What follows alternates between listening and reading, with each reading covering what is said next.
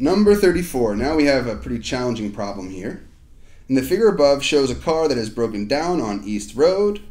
A tow truck leaves a garage on North Road. Here's our tow truck on North Road at point B. The straight line distance between points A and B is 50. So right from here directly to here, A to B, that's going to be 50. We have a right triangle. I wonder if Pythagorean theorem will be involved. So, if the tow truck travels at an average speed of 45 miles per hour, so speed is, or we'll say rate, because we're going to be using that equation for sure. The rate or the speed is going to be 45 miles per hour.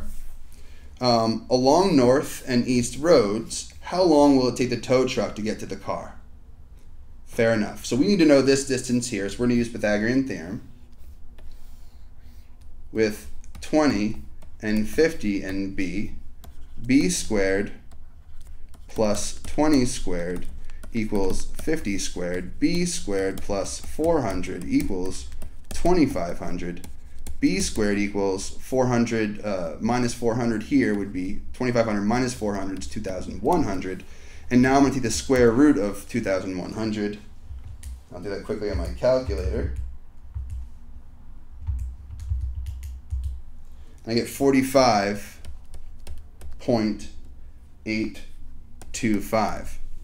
Now, the path that they're going to take the distance is going to be this number here, 45.825 plus this 20. So I'm going to go ahead and add 20 to this value, and I get 65.825 is the total distance.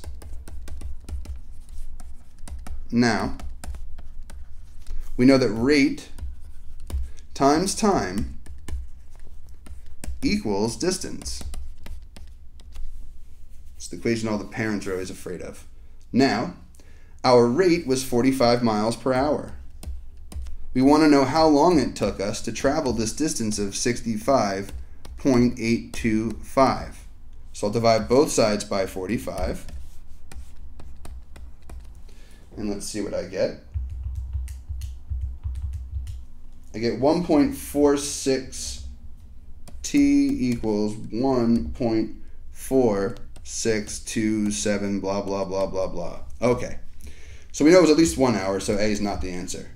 The problem here is that this is a fraction of an hour, and the answers are in minutes here.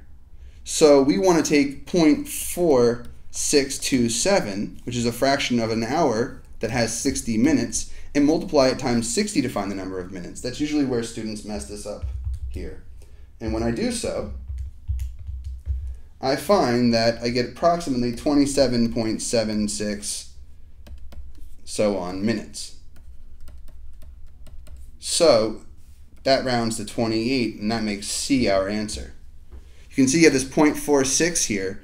They want you to choose E, this 46 minutes, but minutes are based off of a 60 minute hour, not a 100 minute hour. And this is decimal place, and obviously it's based off of 100.